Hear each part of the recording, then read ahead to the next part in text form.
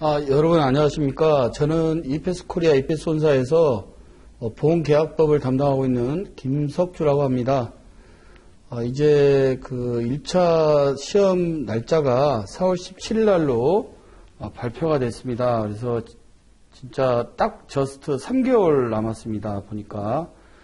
어, 저희가 10월 중순부터 개강을 해서 지금 1월 중순이니까 약 3개월이 경과가 됐고 딱 반이 경과가 됐습니다. 그래서 앞으로 3개월 남았는데 어, 지금까지 본인 스케줄도 공부하신 분들은 어, 그대로 하시면 뭐 크게 60점 이상 1차 시험은 어, 넘어가는 과정이기 때문에 크게 무리가 없으리라 생각됩니다.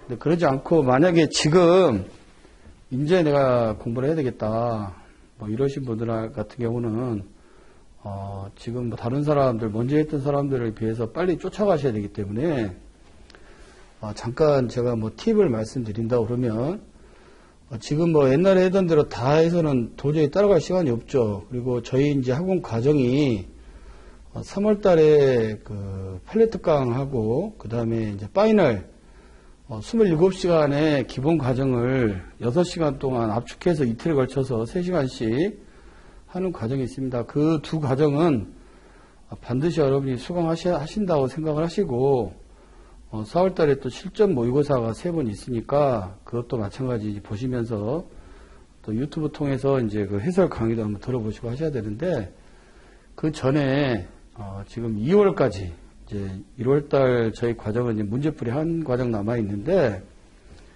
어, 2월 달은 이제 1차 과정은 없습니다. 별도로 없으니까 2월까지 다른 사람이 했던 과정을 여러분들이 따라붙기 위한 부분을 제가 좀 말씀을 드리겠습니다. 지금 뭐 포기하기에는 어, 너무 시간이 많습니다. 사실 많고 또 1차 시험은 2차 시험처럼 이렇게 뭐 몇 명까지 딱 들어가야 되는 그런 게 아니고 어, 절대평가기 때문에 6점 이상만 넘, 으면 되니까 어, 여러분 100점 맞는다 그러면 뭐 도저히 힘들겠지만 그게 아니니까 아직도 가능성이 있습니다. 가능성이 있기 때문에 어, 포기하지 않으셨으면 좋겠고 어, 이제 지금 만약에 시작하신 분 같으면 뭐 그냥 다른 일 안 하시고 직장을 안 다니시고 안 다니시고 집에서 쉬시는 분 같으면 어, 통차 합격도 노릴 수 있으리라고 판단되지만 그러지 않고 직장이라든지 학교를 다니는 그런 학생 입장이라면 어, 지금 지적하신 분들은 1차 동시 합격하시기가 상당히 좀 어렵지 않을까라고 생각이 듭니다. 그래서 1차만이라도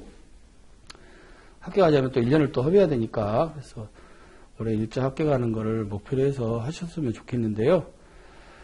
어, 저희 과목 1차 과목 세 과목 중에서 보험계약법은 어, 단순히 문제풀이만 해서 어, 될 만한 그런 과목이 아닙니다. 여러분들 이제 날 2차 공부하실 때 특히 재산보험의 그 표준약관이라든지 이런 거에 기반이 되는 게 상법 보험계약법이기 때문에 어, 반드시 이거는 여러분들이 기본 이론은 어느 정도 합숙이 돼야 또 암기도 되고 하기 때문에 또 판례가 많이 있습니다. 판례가 많이 있기 때문에 반드시 3월 달에 판례 특강하고 어, 요약 강의는 내가 꼭 뭐 인터넷 인강을 듣든 나와서 듣든 꼭 내가 수강을 하겠다 이런 전제 조건 하에서 말씀을 드린다 그러면 여러분들 일단 기본 이론에 대한 부분은 어, 책자를 보시기가 쉽지 않으실 거예요. 지금 뭐 한 달 남았는데 과목이 또 세 과목이지 않습니까? 세 과목을 다 어, 그 책을 다 보면서 하시기는 쉽지 않을 것 같은데 어, 어쨌든 우리가 기본 이론 과정 인강 수강을 원합니다.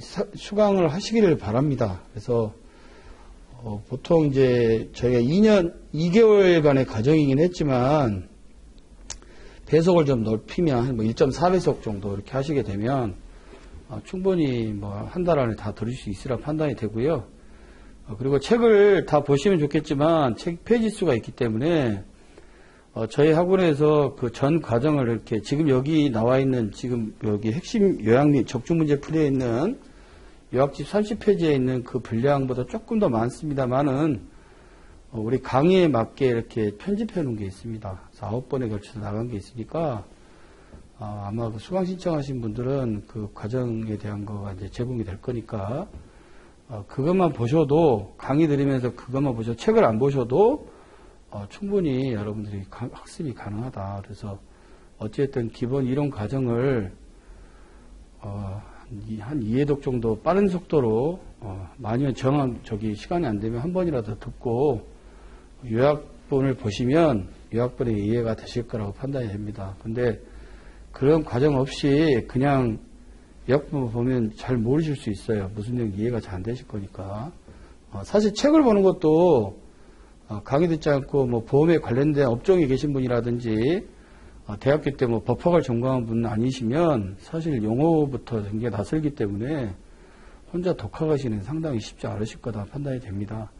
근데 이제 그렇게 해서 하셨으면 좋겠고 그것도 시간이 잘 안 되신 분 같으면 어느 정도 보험에 좀 관련이 돼 있는 분들 같으면 어, 반드시 문제풀이와 아울러 어, 아까 말한 final, final 마지막 그 여- 압축 교육, 6시간 압축 교육, 어, 그것만이라도 더 들으시면 어쨌든 한 4분의 1로 25% 정도로 압축해서 하는 거기 때문에 중요한 부분은 거기서 다 다룰 거거든요.